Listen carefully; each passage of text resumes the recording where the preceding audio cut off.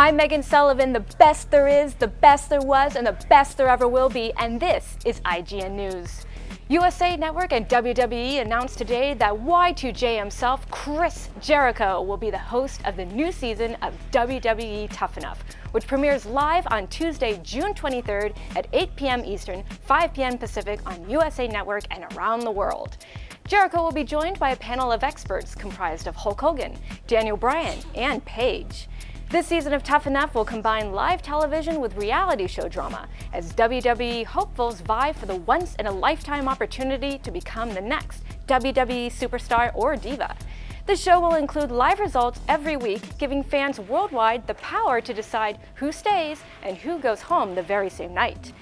Jessica Sebastian, Vice President of Unscripted Series USA Network, said these athletes, each with varying skill sets, will be put through a grueling boot camp that will test their physical, mental, and emotional limits in a way that the series hasn't done before.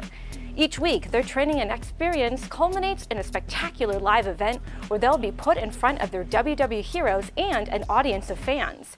In this reimagined version of Tough Enough, only the best will survive.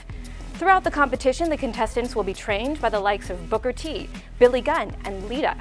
Contestants will also come face to face with WWE Chairman Vince McMahon, Executive Vice President Paul Triple H Levesque, Chief Brand Officer Stephanie McMahon, and WWE superstar John Cena, among others. For more wrestling news, keep it in a headlock here on IGN.